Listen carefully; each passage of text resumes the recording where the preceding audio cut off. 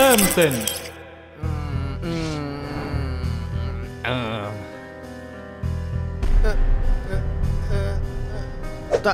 ตูดผมเป็นยังไงบ้างครับหมอ คือมันจะมีโอกาสกลับมาเป็นปกติบ้างหรือเปล่าจ๊ะจ้าพ่อง นี่มันเหมือนผ่านศึกหนักอะไรมาสักอย่าง คุณไปทำอะไรมาก่อนหน้านี้งั้นเหรอ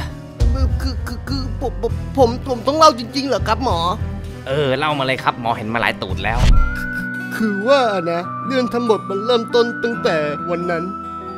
ววันที่ผมไปเที่ยวห้างดังสุดหรูในใจกลางเมืองกรุงเทพ ผมปวดขี้ ผมก็เลยไปขี้ตามปกติของผม คุณจะบอกว่าคุณขี้แข็งจนบาดตูดมาสินะคนไข้หลายคนก็บอกผมอย่างเงี้ยไม่ใช่ครับหมอ อย่าพูดแทรกดิหมอ ขอร้องมีมารยาทหน่อย ขอโทษครับคุณผู้ป่วย ปัญหามันไม่ใช่อยู่ที่การขี้แต่มันเป็นตอนที่เช็ดตูดนี่แหละ ซึ่งเวลาใช้กระดาษทิชชู่เช็ดตูดครั้งแรก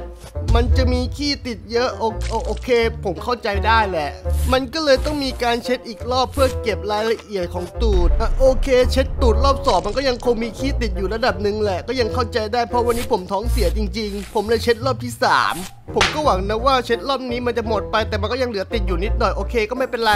ผมเลยเช็ดอีกรอบ แต่ว่า มันยังเหลืออีกอะ่ะ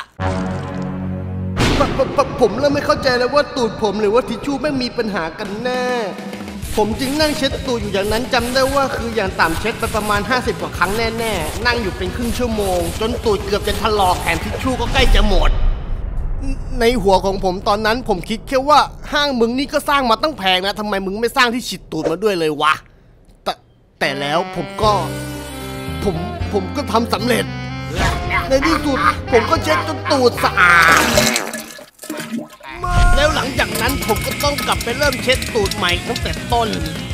อีกครั้งขนาดร้านไก่ของชำหน้าบ้านยังมีที่ฉีดตูด แต่แต่อีห้างนี่แม่งไม่ยอมสร้างไม่รู้แม่งงบหมดหรือยังไงอืมหมอเข้าใจแล้วนะ ไม่ต้องมาพูดให้ผมรู้สึกดีขึ้นเลยหมอ อย่างหมอจะมาเข้าใจอะไรอ้าว